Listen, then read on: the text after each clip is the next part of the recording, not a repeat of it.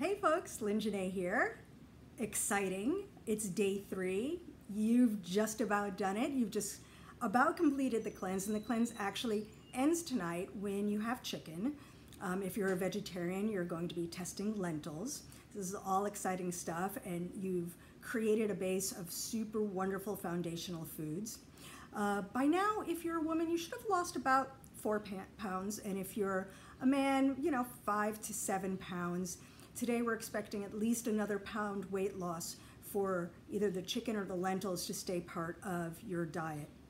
Of course, if that doesn't work, you can always pop an email to the office, info at lyngenet.com, and say, help, I failed a foundational food, what do I do? And we'll give you some options.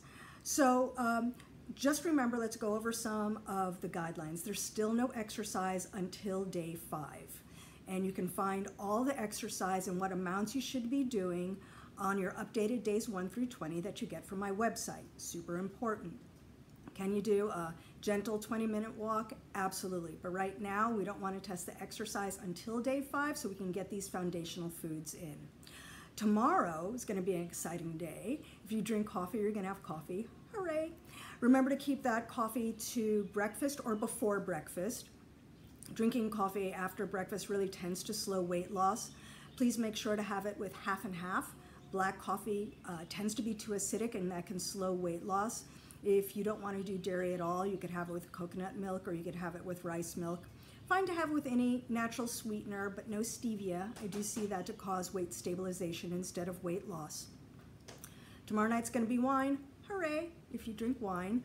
Um, it's only red wine for right now. White wine is too acidic.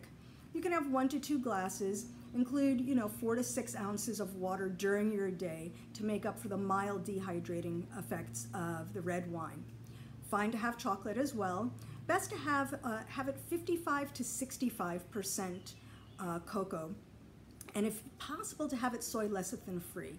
Soy really does disrupt thyroid function and your metabolism, so, you know, that's not the greatest. Um, we don't want chocolate to slow weight loss and affect your thyroid. Uh, good brands are 365, Theo, Alter Eco, and Lindt. They're going to have sunflower lecithin, and that's absolutely fine. So that's you prepping for tomorrow, which is the serious joy factor. The angels are singing, wine, cheese, and chocolate, uh, and coffee are, are part of tomorrow. But let's get through today.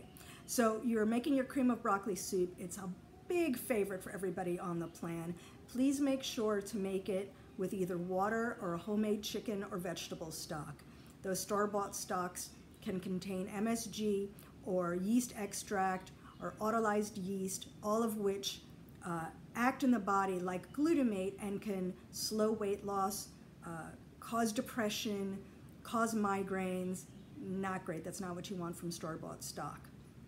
Um, you know, make sure that you have your day programmed, you have everything laid out, that you're having baby romaine and not romaine hearts. That's a big mistake that I see a lot of folks do, and romaine can disrupt digestion. If it's tough to find baby romaine, there's all the approved lettuces uh, listed in the updated days 1 through 20. Certainly red leaf lettuce and green leaf lettuce is super, super easy to find.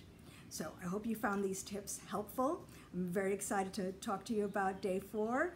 Looking forward to tomorrow's weigh-in, and I hope you're having a great day.